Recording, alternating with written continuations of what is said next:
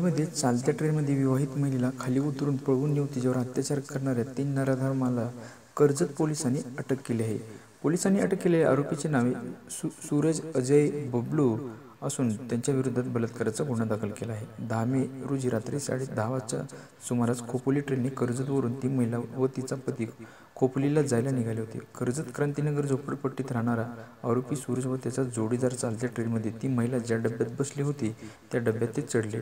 Train सुरू झाल्यावर सूरज व त्याच्या जोडीदाराने पीडितेच्या पतीला मारहाण केली. दरम्यान पळसदरी रेल्वे स्टेशनवर ट्रेन थांबली असता त्या दोघांनी पीडितीला फलाटावर ढकलून दिले. त्यावेळी सूरज उतरला मात्र त्या जोडीदाराने पीडितीच्या पतीला फटकावर उतरण्यास मज्जाव केला. ट्रेन सुरू झाल्यानंतर दुसऱ्या साथीदाराने चालत्या ट्रेनमधून उडी मारली. तसेच पळसपदरी रेल्वे स्थानकातून त्या महिलेला आरोपींनी हाताला धरून खेचत बाहेर नेले व रेल्वे स्थानकाच्या बाहेर एका मुलगा एक मुलगा मोटरसायकल घेऊन उभा होता. त्या तिघांनी त्या महिलेला पळसपदरी जंगल परिसरात नेऊन अत्याचार केला. या दरम्यान पीडितेचा पती केळवणी स्थानकावर उतरला असता झालेला प्रकार वकील राजेंद्र येवणकर यांच्या कानावर घातला.